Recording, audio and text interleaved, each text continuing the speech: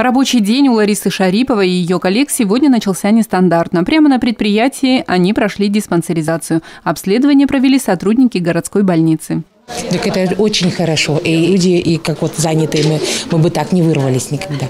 А тут пришли, конечно, все сделали, прошли диспансеризацию.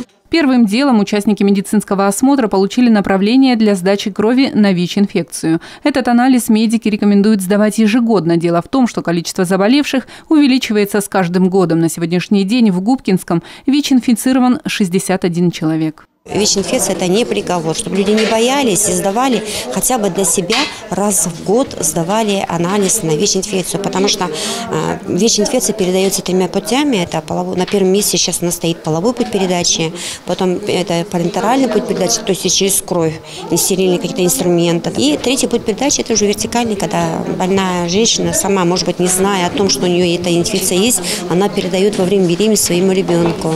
В рамках диспансеризации измеряется рост, вес человека и глазное давление. Затем ЭКГ. Диспансеризация помогает выявить факторы риска развития неинфекционных хронических заболеваний, таких как артериальная гипертензия, помогает э, в последующем предотвратить такие сосудистые катастрофы, как инсульт, и, соответственно, а, снижается инвалидизация населения и выявляются такие заболевания, которые могут привести к ранней смерти.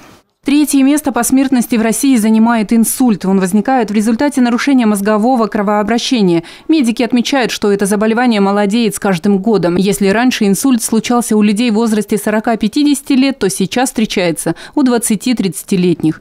Все чаще инсульт случается у женщин. Предотвратить это заболевание поможет профилактика, говорят врачи. В профилактику входит правильное питание, умеренные физические нагрузки регулярные – отказ от курения, потом борьба с заболеваниями, то есть лечение, профилактика заболеваний, которые приводят к инсульту. Это гипертоническая болезнь, ожирение, сахарный диабет, наличие нарушений сердечной деятельности. После обследования состоялась лекция. На ней рассказали о важности диспансеризации, правилах спасения больного при инсульте и о том, как избежать стрессовых ситуаций на работе и дома. Обычные стрессовые ситуации, которые каждый день человека при, преследуют рабочие да, моменты, там, семейные, домашние, их можно элементарно с ними справляться тем, что каждый день просто свою жизнь вносить разнообразие, заниматься спортом, а, увлекаться какими-то определенными там занятиями, искусство, что-то еще, да, то есть что музыка, что вам интересно. После лекции у присутствующих была возможность задать вопросы врачам поликлиники. Многие ситуации были разобраны на месте. Вопросы личного характера работникам предприятия было предложено задать на приеме у специалиста городской больницы.